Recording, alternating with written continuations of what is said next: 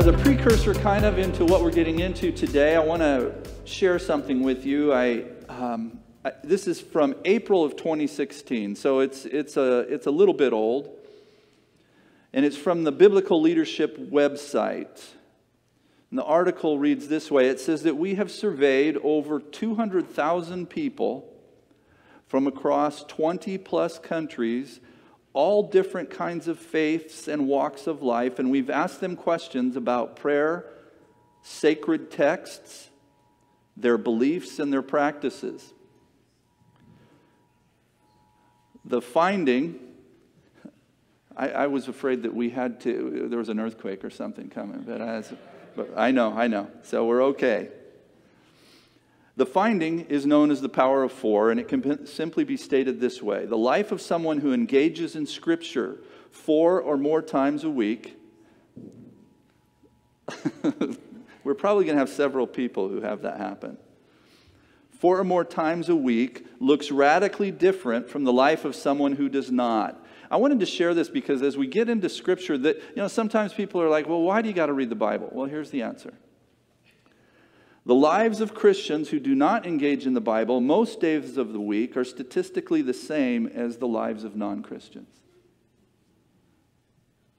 So, just because we say we're a Christian and we believe in Jesus, the lives of those of us who do not engage in some capacity into Scripture, in fact, the power of four, eh, the concept is four times a week. So, at least, you know, every other day, if we're not doing that, then our lives are going to be the same as people who don't know Jesus at all. That's what this is saying. And then it gives some other specifics about the effect of, and it doesn't say, this article didn't say, in an hour of Bible study. It doesn't say anything in regard to the time at all. It just says people who are giving their brain and their heart opportunity to digest something of God's word four times a week. You can do all seven days if you want to. It doesn't say you don't. Yeah.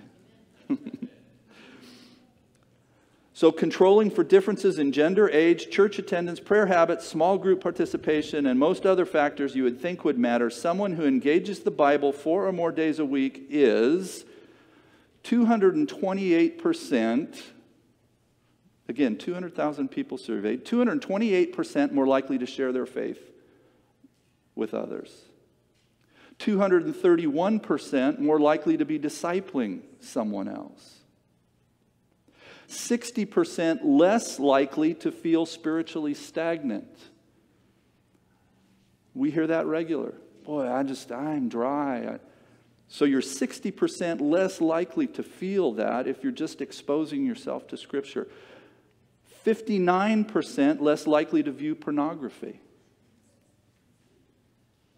30% less likely to struggle with loneliness. 31% less likely to struggle with forgiving others. I could have left that one off because it kind of makes us feel better sometimes. They need to forgive, they need to offer forgiveness. So I know that this is a Christian based website. And because of that, we're going to go, well, those statistics, that 200 blah, blah, percent, and, you know, how is that? And then this is a Christian. So they're going to up the ante. So the question that I would say in response to that is this How far do they have to up it from the actual in order for it still to be relevant? You know, if you're if it's not 30% less likely to struggle with loneliness, if it's only 20%, isn't that still worth it? If any of those statistics are, are less because you think that they're promoting this concept, you know, over the top, at what point does it become enough to say, I think I'll start reading my Bible a little bit more? Okay, that said, the language of the marketplace. If you, part two, if you would turn in your Bibles, so this can count as one. If you would turn in your Bible to Acts chapter 17, if you have it, uh, if you have it with you, we're going to go uh, verse for verse. I'm not going to make you stand right now, but I'm going to read through this in the NIV and you can follow along. We're going to pick up, like I said, in a verse by verse look at it pretty quickly.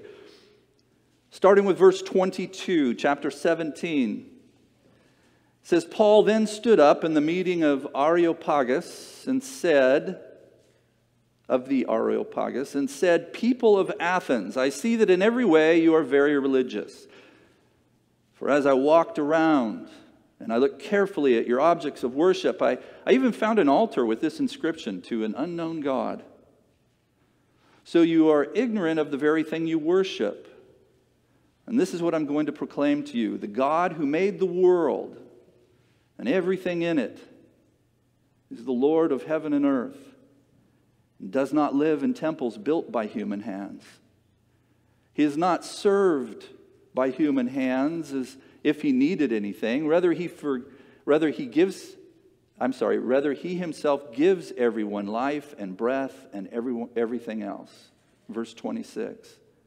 From one man he made all the nations, that they should inhabit the whole, the whole earth, and, and he marked out their appointed times in history and the boundaries of their lands.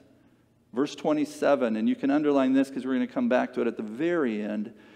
God did this so that they would seek him, perhaps reach out for him and find him, though he is not far from any one of us.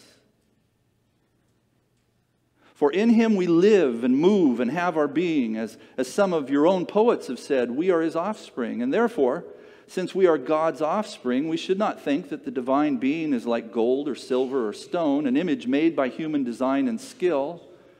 In the past, God overlooked such ignorance, but now He commands all people everywhere to repent. For He has set a day when He will judge the world with justice by the man that He appointed. He has given proof of this to everyone by raising him from the dead. And when they heard about the resurrection of the dead, some of them sneered, but others said, We want to hear you again on this subject. And at that, Paul left the council, and some of the people became followers of Paul and believed. And among them was Dionysius, a member of the Areopagus, also a woman named Damaris, Damaris, and a number of others. Lord, bless your word. We've already been told that you have the ability to do that in our lives and change us and transform us.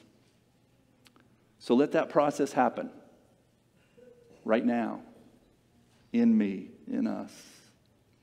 Amen. So, first, a little bit of the Greek, because that's what I've been doing for a while, and there's a handful of things here that I think are, are valuable for us to look at. First, you noticed in verse 22 this Areopagus. That comes from the word Ares in Greek. In Roman, it's Mars. So it's the Greek god of war. And it literally means Greek god of war. Pagos means rocky hill. So the equivalent in Roman uh, mythology is Mars Hill, which we're more familiar with. Not the church, but the location. We have a, we have a picture, I think, uh, just so you can see what this looks like. So you see the city of Athens. I said last week, at the time of this writing, roughly 140, 150,000 people. And this is the location, this rocky hill, uh, where they would meet and hold court. You can take that down now.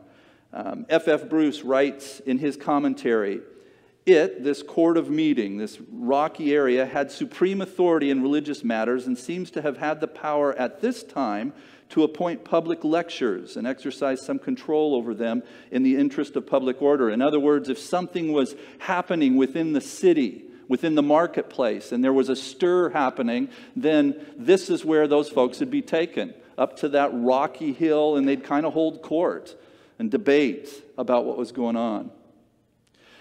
There's a couple things that I, I kind of noticed in, as we've been moving through Acts and in the last couple weeks. The first thing is that wherever Paul goes, he's in, invited to speak somewhere. And there's some that don't want it to happen, but he is invited to speak somewhere about this message of Christ. Get that concept. He is invited. It's interesting. Um, I had a conversation last week uh, with someone out, on the fo- out in the foyer, and we were talking about Paul. And his comment to me, and I would have agreed with it, was he said, You know, his personality in so many ways, it seems like he's kind of an intolerable guy. He was tough to get along with. And, and I think I kind of agree with that, but it is interesting. He was tough on some things, but still, they kept inviting him into conversations. So maybe he's not quite as intolerable as we think. And if you follow this, one of the things I've noticed in going through Acts again is that Paul, while he can be pretty straightforward and difficult, he also applies grace to a whole lot of situations. And he reminds people of the grace of God. If you go to some of his writings after the book of Acts, the, the, the, things he writes to churches, he talks a lot about grace. And so, even though he seems to get into trouble and maybe is intolerable, he's obviously not what he was called last Sunday, a babbler. And people, when they get to understand who he is, they understand also that he's very intelligent. And people ask him to expand on the God that he knows.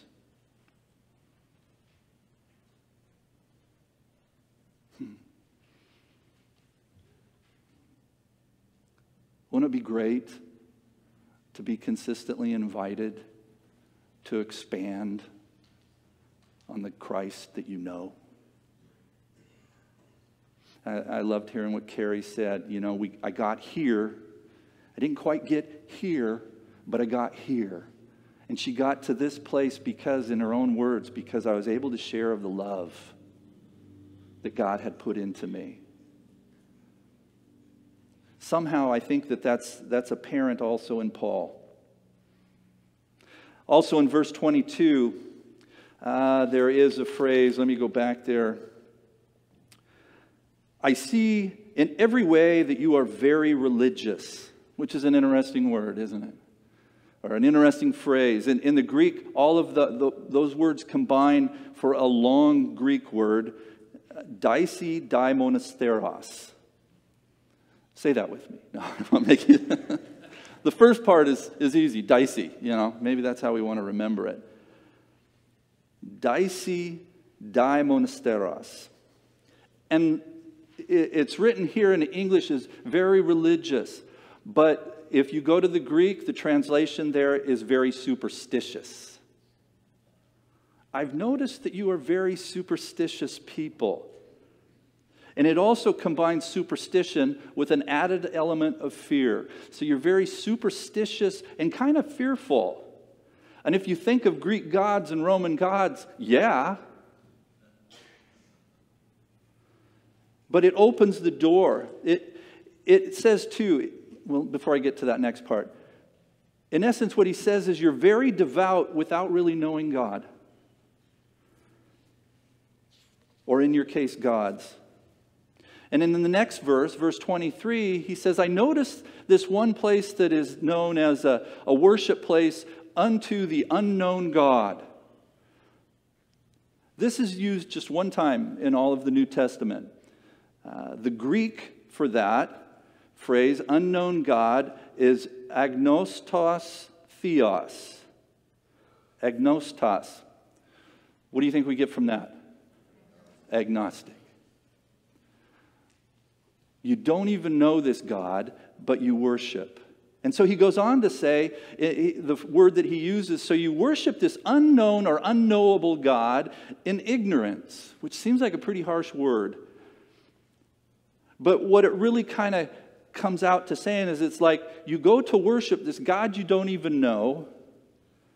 And when you're in the middle of that worship, you kind of look the other way of all the things about this God or that you don't know about this God. So it's not, when we say, oh, you're ignorant, that can feel like a pretty harsh condemnation to someone. But what he's saying is, in essence, you look the other way at all these things that you don't know about him. So then the scripture tells us that he shares about Jesus. We get down to verse 32, and they mock or ridicule him. This word that's used there, actually, the word in the uh, NIV that I read says sneered. Several sneered at him, and it means to mock or ridicule. That word is only used twice. It's interesting because they're both in the book of Acts.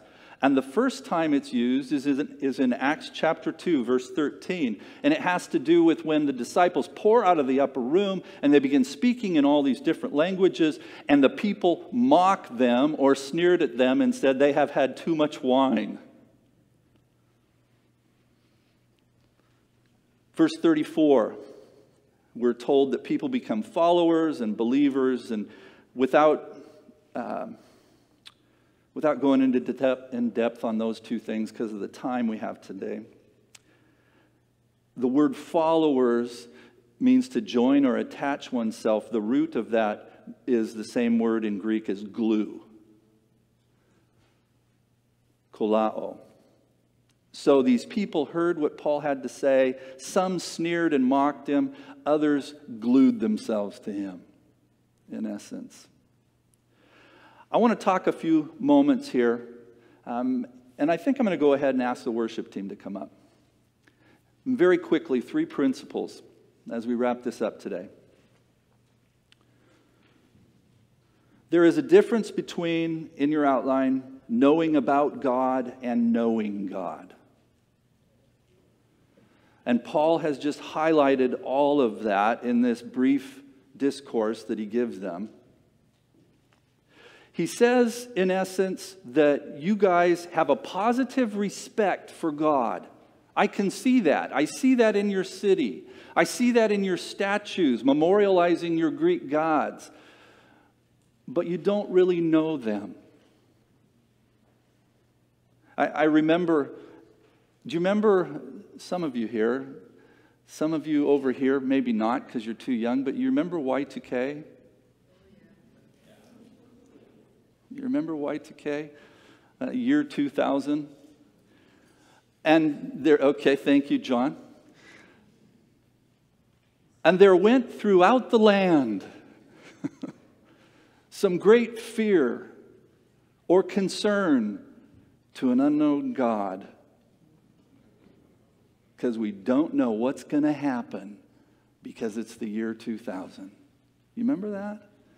There was lots of discourse about that. It, it was on the news on a regular. What's going to happen? There was this fear of all these different things.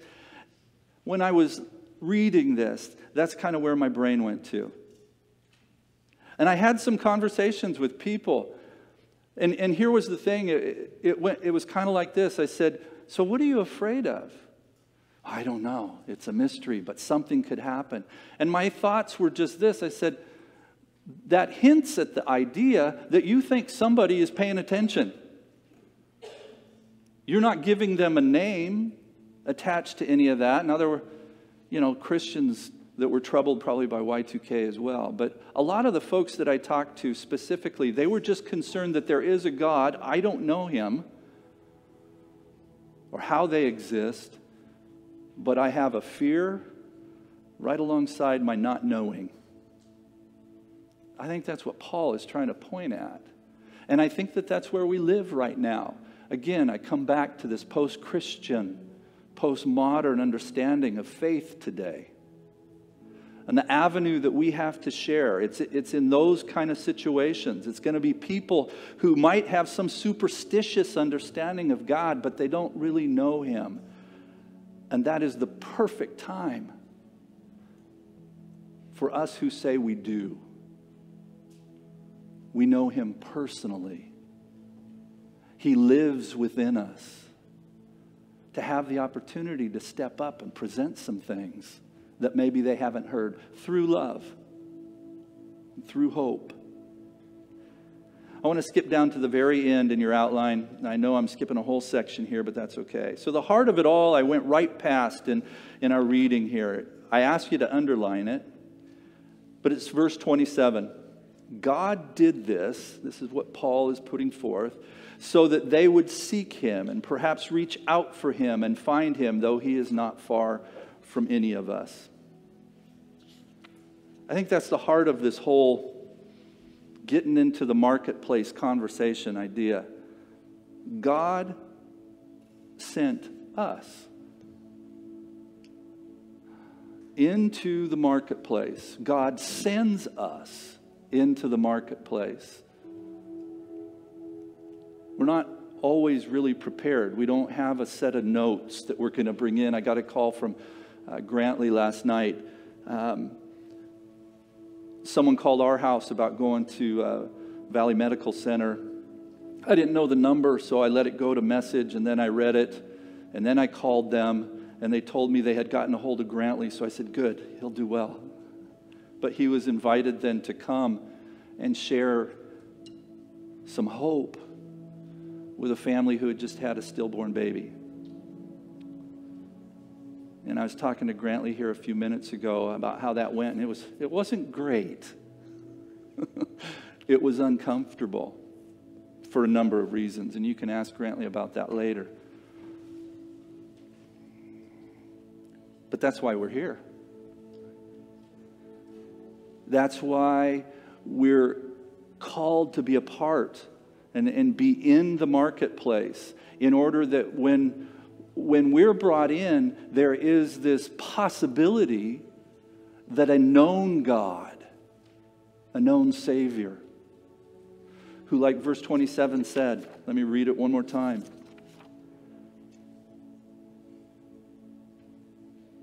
That they could reach out for him and find him, though he is not far from any of us in the middle of superstition, in the middle of everything else that is a distraction from the true God, He has put us in places that we can step in and, and draw the net, so to speak, to, to, to bring into the process our known Jesus, our Savior.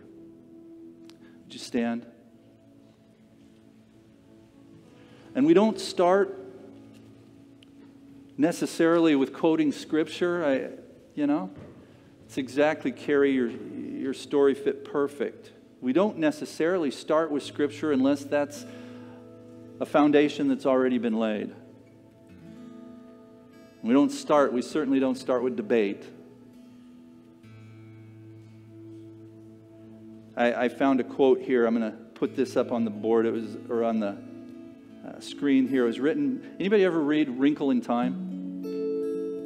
A few of you. Madeleine L'Engle, I think is how you say. This is from her. She said, We do not draw people to Christ so loudly discrediting what they believe by telling them how wrong they are and how right we are, but by showing them a light that is so lovely that they want with all their hearts to know the source of it. That's why we go into the marketplace. That's why we don't just stay here and huddle up all the time, pat each other on the back, and never go outside this place and share. But so that they can be drawn into a light that with all their hearts, they want to know the source of it. As Paul said, there is a God reaching out, and He is close. He's never been far. Let's sing together, and then we'll pray in just a moment.